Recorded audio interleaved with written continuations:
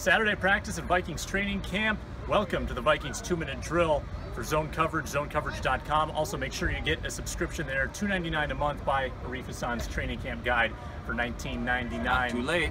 Boys, all 90 Vikings here today. Only two holdouts due to injury, Stacy Coley and Pat Elflein. What was one surprise you had today at practice? Uh, we saw about two and a half hours of uh, Vikings football out here this afternoon. I think the biggest thing for me, and I do this every year, the first day I show up to camp, the physicality and really just how big some of these guys got during the offseason. Two names came to mind. Anthony Harris, a UDFA from Virginia, came out. Great in coverage as a center fielder, but needed to get bigger, stronger, needed to prove he can tackle, had better running angles. We won't see that yet, but just from a physical standpoint, the guy looks like he came out of college about buck 80, buck 85. Yeah. Looks a solid 210, 215, and a guy who made some plays last year when his number was called, not just on special teams, filling in for an injured Andrew Sendejo. I like him as the number three safety, and if his name gets called again, I'm confident with what he can do.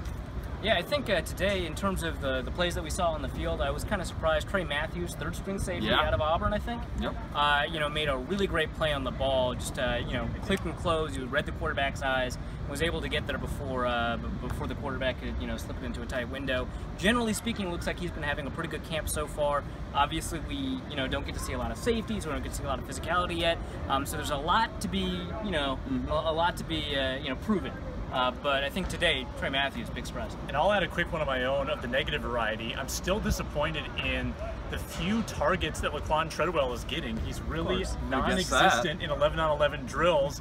this continues to be an issue. It was a problem all last year. Day one, not great for Laquon. Uh, a lot of rookies out here, guys, and we've had some glowing reviews in some of the press conferences of some of these young kids. Obviously, a small sample size, but what's one rookie who stood out to you? I know you mentioned Matthews. Can we come up with some other names? Uh, Luke, who you got? Uh, again, just from a physicality standpoint, Jalen Holmes, defensive lineman, fourth round pick from Ohio State.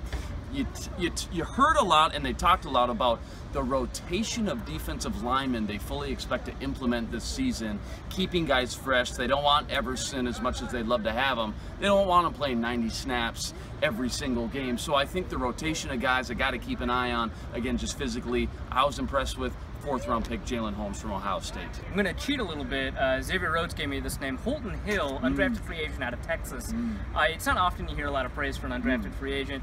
Uh, Xavier Rhodes could not wait to talk He about glowing. him. Yeah, absolutely. And uh, you know, the name comes up, and he's like, "I was waiting for that question." He was talking a lot about, you know, how, how Hill had a lot of great technique, and even though he was targeted, I think a lot today, uh, and gave up a couple of those targets, just to hear that kind of praise for an undrafted free agent, I think that's pretty significant.